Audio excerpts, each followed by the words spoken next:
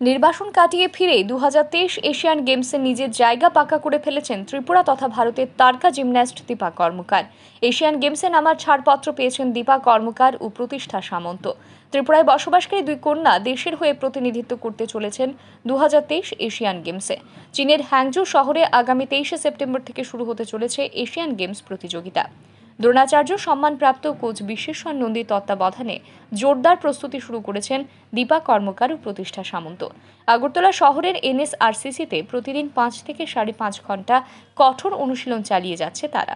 চোট সারিয়ে বহুদিন পর ট্র্যাকে ফিরে এশিয়ান গেমস থেকে এবার পদক আনতে মরিয়া জিমন্যাস্ট দীপা কর্মকার।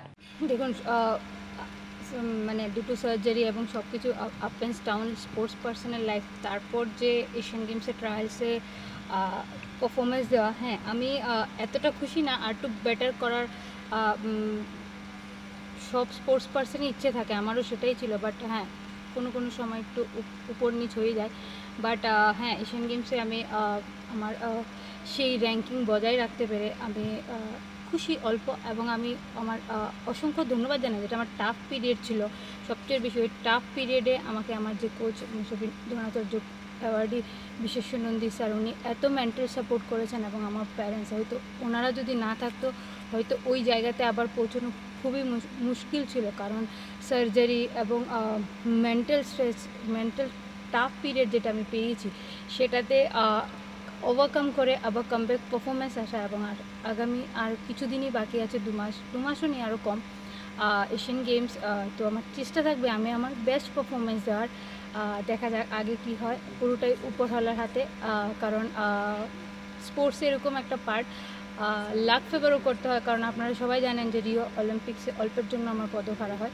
কিন্তু আমি আশা রাখব যে সবার ভালোবাসা, ত্রিপুরাবাসীর সবার ভালোবাসা এবং ভারতবর্ষের সবার ভালোবাসায় এবং আমার গুরুজনদের আশীর্বাদে আমি আগামী দিনে হয়তো আরেকটা কিছু করতে পারব। দু হাজার তেইশ এশিয়ান গেমসে দুই ছাত্রী ছাড়পত্র পাওয়ায় যার বর্ণনায় খুশি তাদের কোচ দ্রোণাচার্য সম্মানপ্রাপ্ত বিশ্বেশ্বর নন্দী। সাংবাদিকদের মুখোমুখি হয়ে এদিন তিনি বলেন, ভুবনেশ্বরের কলিঙ্গ স্টেডিয়ামে জিমন্যাস্টিক সেন্টারে আয়োজিত এশিয়ান গেমসের ট্রায়ালে তার প্রত্যাশা চেয়েও অনেক বেশি ভালো পারফরম্যান্স করেছে দীপা। সব ভয়কে উড়িয়ে দিয়ে নিজের সেরাটা দিয়েছে দীপা এবং প্রতিষ্ঠা দুজনেই। এর পাশাপাশি এশিয়ান গেমসের প্রস্তুতির জন্য রাজ্য সরকারের অবদানের কথাও এদিন তুলে ধরেন তিনি। অ্যাকচুয়ালি খুব আনন্দিত আমি অ্যাজ এ কোচ দীপাকে নিয়ে একটু ভয় ছিল কারণ ওর পায়ে সার্জারি হয়েছে। সেটা ভয় সবসময় থাকে। কিন্তু প্র্যাকটিসের কোনো রকমের খামতি নেই। প্র্যাকটিস আমি হার্ডওয়ার্ক করিয়ে যাচ্ছি। সকালে আড়াই ঘণ্টা, বিকালে প্রায় তিন ঘণ্টা। পাঁচ, সাড়ে পাঁচ ঘণ্টার মতন আমার প্র্যাকটিস করাই আমি। প্র্যাকটিসে কোনো রকমের আমার কাছে ইয়ে নেই এক্সকিউজ নেই।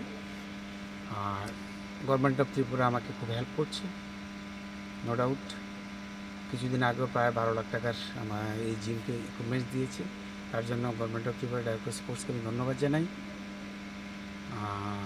প্রস্তুতি চলছে খুব, আমরা এগারো বারো তারিখ ভুবনেশ্বরে ট্রায়ালে গেছিলাম এশিয়ান গেমসের দীপা আবারও সেই তার যে স্থান, সেটা রাখতে সক্ষম হয়েছে। এবং আমাদের কাছে যে প্রতিষ্ঠা সামন্ত আছে সেও এশিয়ান গেমসের জন্য সিলেকশন হয়েছে। আমি খুবই আনন্দিত। আমার যে আশা ছিল, দীপা আশার থেকেও একটু ভালো পারফরমেন্স দিয়েছে। এশিয়ান গেমস থেকে ফের একবার পদক প্রাপ্তির আশায় দুই বাঙালি কন্যা দীপা কর্মকার ও প্রতিষ্ঠা সামন্তের দিকেই এখন তাকিয়ে রয়েছে গোটা দেশ। ফের একবার দেশবাসীকে গর্বিত করতে চলেছেন তারা। ব্যুরো রিপোর্ট, আর ই নিউজ।